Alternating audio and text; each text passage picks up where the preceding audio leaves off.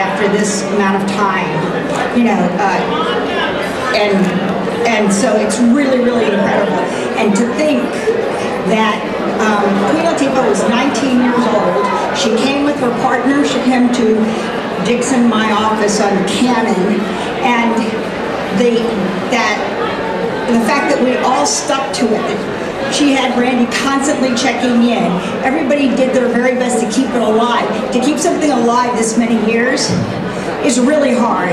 And so nothing could be more rewarding than to be acknowledged in this way. And it's a wonderful night. When I originally read this material, I thought she was such an incredible woman because unlike the cliche of singers at that time, she, or even today, she wasn't a victim of anything.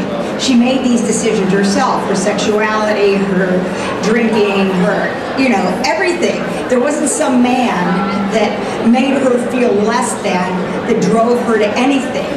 And that was one of the reasons why Queen Latifah was so attractive for the part because she was this young woman call, calling herself Queen Latifah. To carry that off at 19, 20 years old, you had to have that kind of self-assurance that obviously Bessie didn't have in the same way, but she was her own woman. And that's very interesting and you don't usually see it.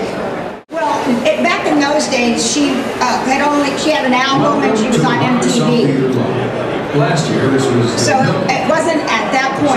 she was an asset. At that point, she was right for the role. She was a little young, but she was perfect for the role.